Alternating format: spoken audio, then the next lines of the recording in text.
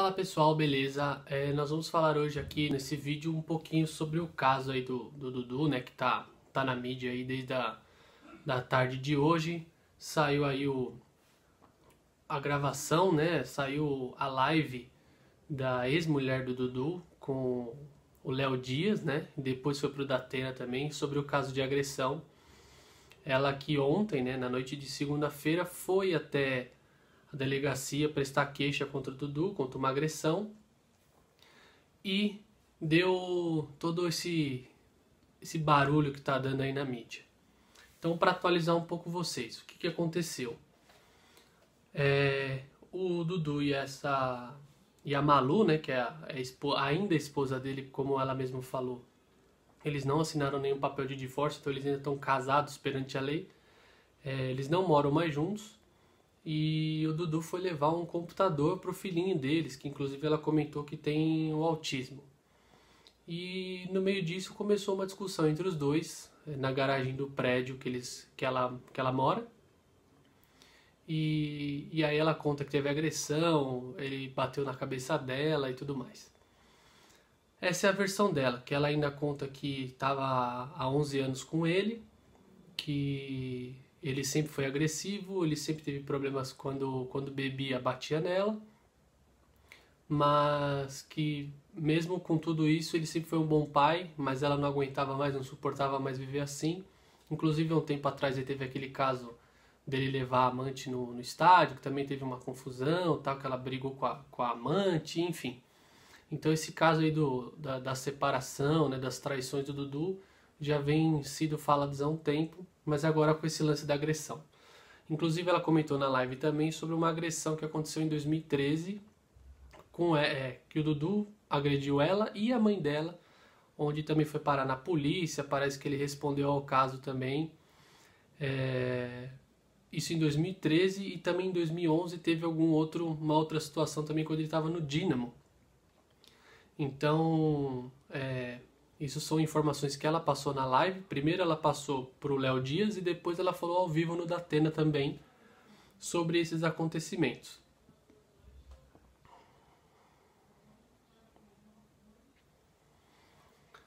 Basicamente, da parte dela é isso. Ela não chegou a atacar, falar mal do Dudu é, durante esses programas. Né? Ela comentou os casos que aconteceram, comentou sobre as agressões, falou que ele quando bebe fica agressivo mas é, falou bem dele em relação aos filhos, é, falou da história dele da, de, de criança, como ele foi criado, enfim. Então essa é a parte dela. Da parte do Dudu, ele diz que ele não fez nada, que realmente houve uma confusão aí com a, com a ex-mulher dele, mas no caso quem foi agredido foi ele. É, ele foi, assim que ele soube que ela foi na delegacia, né, prestar queixa e tudo mais, e no hospital fazer os exames, ele já foi falar com o advogado dele e hoje mesmo eles se apresentaram na delegacia da mulher e foram contar a parte deles.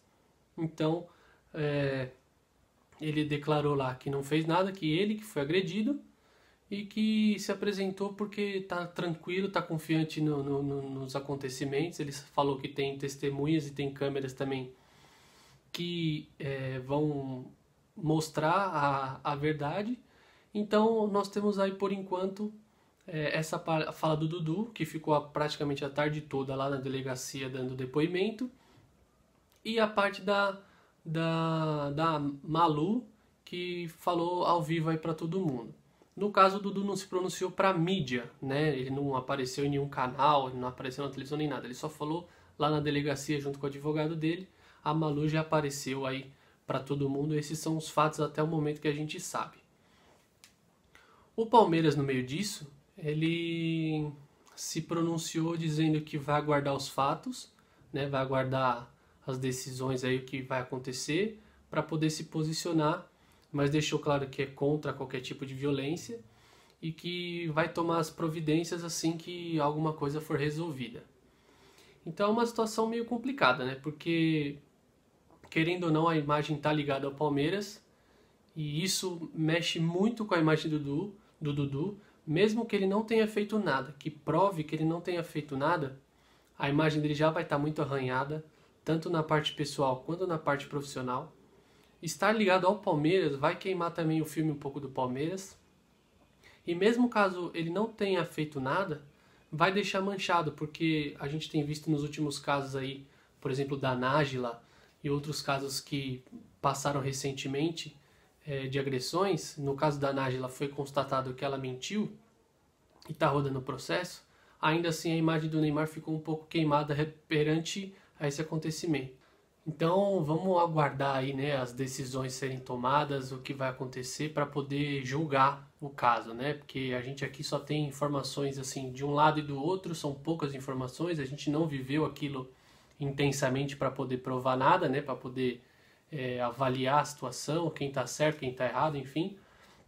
Então essas são as, as informações que a gente tem. E o que fica chato é porque, assim, vai queimar a história do Dudu, né? Porque ele é um ídolo. É, nos últimos cinco anos aí ele tem sido destaque no Palmeiras. Muitas crianças gostam dele, então isso ligado à imagem dele é muito ruim, né? E se caso ele tenha realmente feito isso, que ele pague, porque é totalmente inadmissível é, o ato de bater né, na mulher. Bater em qualquer pessoa é errado, né? é, tem que ser resolvido as coisas de uma maneira decente, mas principalmente numa mulher, o cara é atleta, o cara tem, o homem é muito mais forte que a mulher, então é errado de qualquer forma. E se caso ela estiver inventando essa história toda, ela também pague pelos erros, né?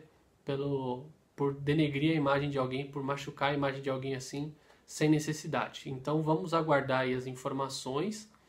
É, a gente está passando isso aqui porque tá o boom, né? Tá todo mundo falando sobre isso e é importante passar as informações certas para vocês que estão assistindo, estão acompanhando tudo isso. Então, é isso, basicamente isso. É, torcemos para que tudo seja resolvido e que pague quem tem que pagar.